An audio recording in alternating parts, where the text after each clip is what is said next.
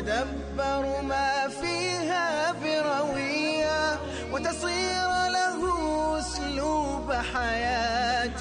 وتشاركه في عقد النية فتعالوا كي نصلح أنفسنا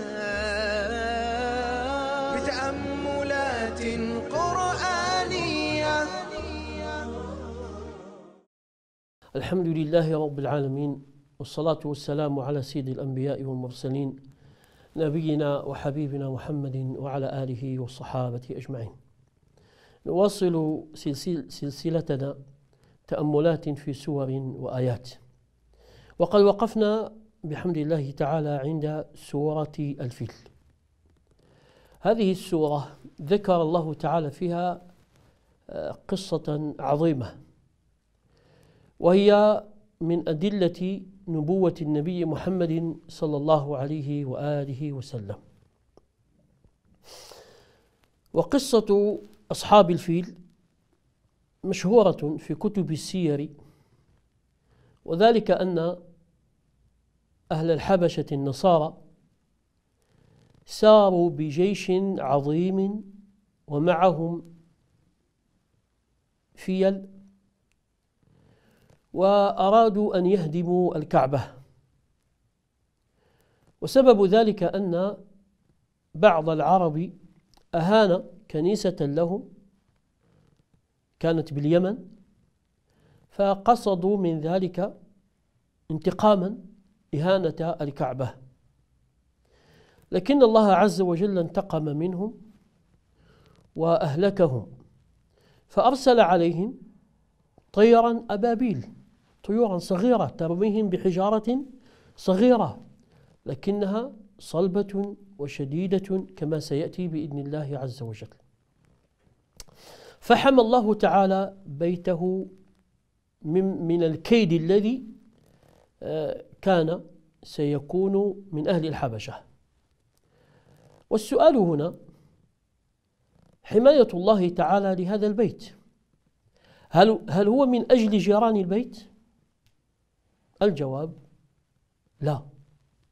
لماذا؟ لأن جيران البيت كانوا مشركين والذين قصدوا هدم الكعبة وهدم البيت كانوا أهل كتاب فهم أحسن حالا من المشركين الذين كانوا من جيرانا للبيت ولذلك الله تعالى حمى بيته تقدمة وإرهاصا بين يدي ولادة النبي عليه الصلاة والسلام وبعثته عليه الصلاة والسلام لأن هذا العام الذي هو عام الفيل قد ولد فيه النبي عليه الصلاة والسلام فتبين كما ذكر العلماء أن الله عز وجل دفع عن مكة الفيل من أجل هذا الأمر العظيم ألا وهو أن يكون مقدمة بين يدي بين يدي ولادة النبي عليه الصلاة والسلام وبين يدي بعثته عليه الصلاة والسلام قال تعالى ألم تر كيف فعل ربك بأصحاب الفيل ألم تر كيف فعل ربك بأصحاب الفيل ولا شك أن هذه المدافعة التي كانت من الله عز وجل هي في حد ذاتها نعمة لقريش فلما أهلك الله تعالى أولئك كان فيه بحمد الله تعالى نعمة على قريش فحماهم الله تعالى من أن يقتلوا وغير ذلك فالله تعالى أنعم عليهم بهذه النعمة فصرف عنهم وعن بيته أصحاب الفيل ألم ترى فهذا استفهام والمقصود به التقرير استفهام معناه التقرير ألم ترى كيف فعل ربك بأصحاب الفيل وهذا يقتضي أن هذا الذي أخبر الله تعالى به قد وقع وعلم به الناس واشتهر ورأوه فلذلك أخبر الله عز وجل به فقبرهم سبحانه وتعالى على ذلك ألم ترى أي ألم تخبر أو ألم تعلم والخطاب للنبي صلى الله عليه وسلم وهو أيضا عام يشمل غيره أي ألم تروا ما فعل ربك أو ربكم بأصحاب الفيل أي قد رأيتم ذلك قد رأيتم ذلك وعلمتموه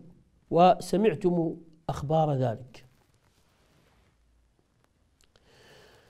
ألم تر كيف فعل ربك ربك فجيء في تعريف الله عز وجل بوصف رب مضافا إلى ضمير النبي صلى الله عليه وسلم ربك وهذا فيه تذكير للنبي صلى الله عليه وسلم بالنعمة وفيه تذكير له بهذه القصة وأنها من من إرهاصات نبوة له عليه الصلاة والسلام وقد جاءت الإشارة إلى هذه الحادثة إجمالا في الصحيح من حديث أبي هريرة رضي الله تعالى عنه أن النبي صلى الله عليه وسلم قال إن الله حبس عن مكة الفيل وسلط عليها رسوله والمؤمنين وإنها لن تحل لأحد قبلي وإنها أحل أحلت لي ساعة من نهار وإنها لن تحل لأحد بعدي الشاهد إن الله حبس عن مكة الفتنة ففي إشارة إلى هذه القصة لأنها لم ترد بسند متصل بجميع تفاصيلها ولكن آه، أصل القصة صحيح كما جاء ذلك عن النبي صلى الله عليه وسلم في هذا الحديث وأيضا في حديث المسور بن مخرمة رضي الله تعالى عنه وأرضاه وأيضا في الصحيح فعن المسور بن مخرمة ومروان بن الحكم رضي الله تعالى عنهما في قصة الحديبية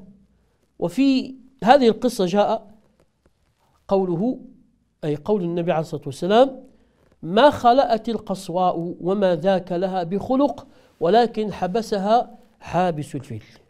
ففيه أيضا الإشارة إلى هذه القصة وتفاصيلها وردت آه، في آثار كثيرة عن أهل السير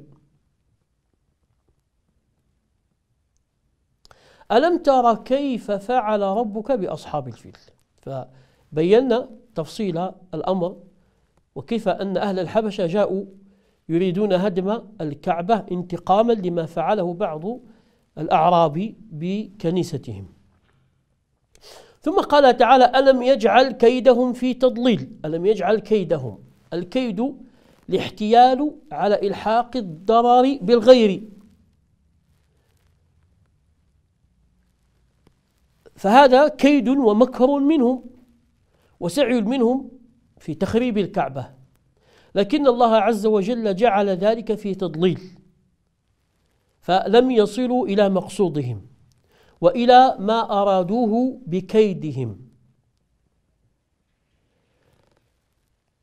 والهمزة في ألم يجعل للتقرير أي قد جعل كيدهم في تضليل أي في تعطيل وأرسل عليهم طيرا أبابيل وأرسل عليهم طيرا أبابيل أبابيل أي جماعات فالله عز وجل أرسل على هؤلاء طيرا أبابيل وهذه الطيور تحمل حجارة من سجيل حجارة والسجيل هو الطين المتحجر وهو كالحمصة والسجيل هو طين صلب شديد كما جاء في قوله تعالى لنرسل عليهم حجارة من طين مسومة عند ربك للمسرفين لنرسل عليهم حجارة من طين وفي آية أخرى فلما جاء أمرنا جعلنا عاليها سافلها وأمطرنا عليهم حجارة من سجيل والقصة واحدة فتبين أن الحجارة هنا التي من سجيل هي الحجارة من طين فهي حجارة من طين في غاية الشدة والقوة فلذلك فعلت بهم هذا الفعل الشديد فجعلهم كعصف مأكول العصف هو ورق الزرع بعد الحصاد كالتبن إذا أكلته الدواب فراثته أي أصبح روثا فسمي عصفا لأن الريح تعصف به ذات اليمين والشمال فهذا يعني أن الله عز وجل جعل هؤلاء كزرع أكلته الدواب فراثته أي أصبح روثا فيبس وتفرقت أجزاؤه هكذا أصبح حالهم من شدة ما أنزل الله تعالى بهم من العقوبة وقد ذكر العلماء أن ما ورد في هذه السورة هو تمثيل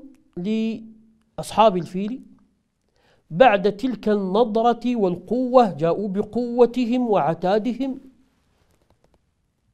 لكن صاروا بعد ذلك متساقطين متهالكين وهكذا حال كل متجبر فمن أراد الإسلام والمسلمين أو شعائر الإسلام أو مقدسات المسلمين من أرادها بسوء جعل الله تعالى كيده في نحره وعاقبه سبحانه وتعالى إن ربك بالمرصاد ثم جاءت بعدها سورة قريش سورة قريش افتتح الله تعالى بقوله لإيلاف قريش إيلافهم رحلة الشتاء والصيف لإيلاف قريش إيلافهم رحلة الشتاء والصيف هذه السورة اشتملت على أمر قريش بتوحيد الله عز وجل فليعبدوا رب هذا البيت وجاء فيها تذكيرهم بنعم الله عز وجل عليهم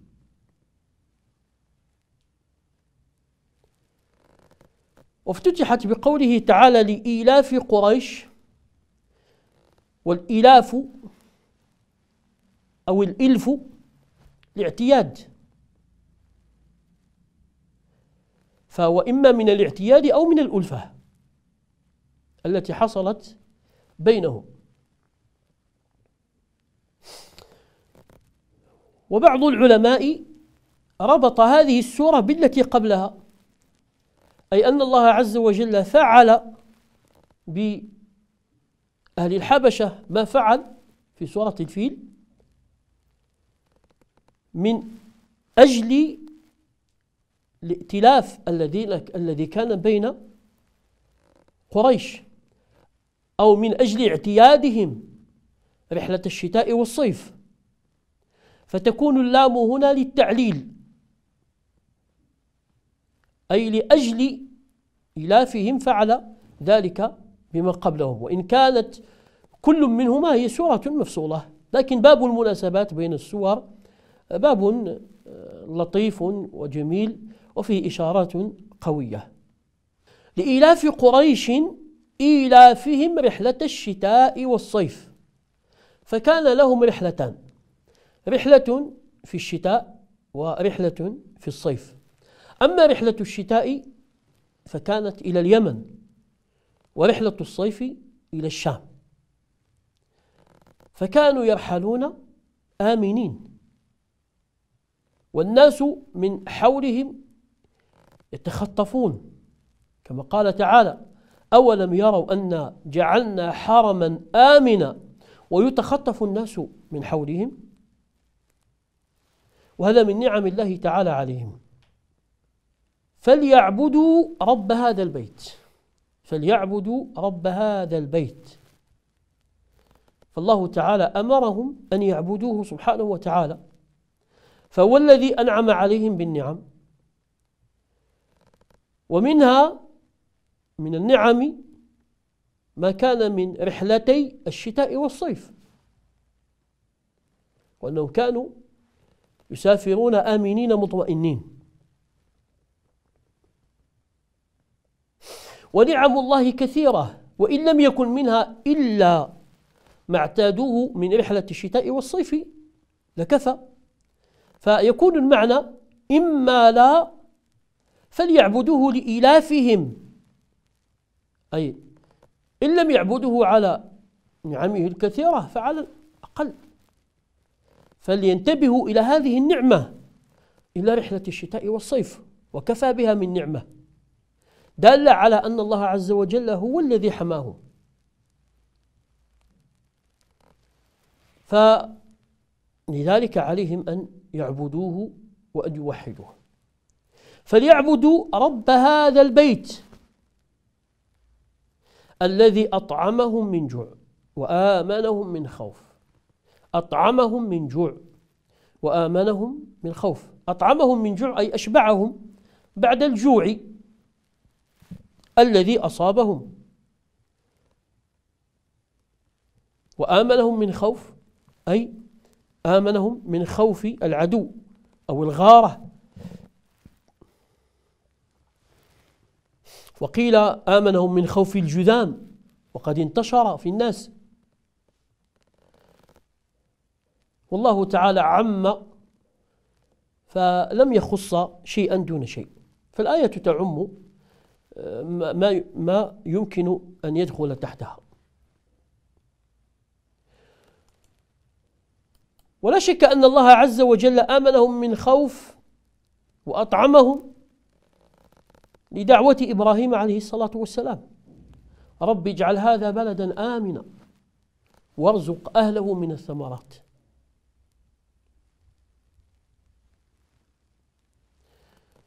فالله تعالى قد أمنهم وجعلهم في أمان ولا شك أن الإطعام والأمن هما نعمتان عظيمتان وقد جمع الله تعالى بينهما هنا بين الإطعام والأمن فدل على أنهما نعمتان متكاملتان فإذا حصل الجوع الشديد فقد الأمن لأن الناس سيلجؤون إلى النهب والسرقة وغير ذلك والقتل من أجل الحصول على الطعام وإذا كان الطعام ولم يكن الأمن لا يكون الاستقرار فلا عيش مع الجوع ولا أمن مع الخوف وتكون النعمة كاملة باجتماعهما وكثير من البلدان يعيشون في نعمة طعام شراب أمن لكن طمعا فيما هو أعظم يسلكون مسالك غير مرضية فانظروا إلى ما وقع من من من الثورات في الربيع العربي المزعوم مثلا ما نتائجه؟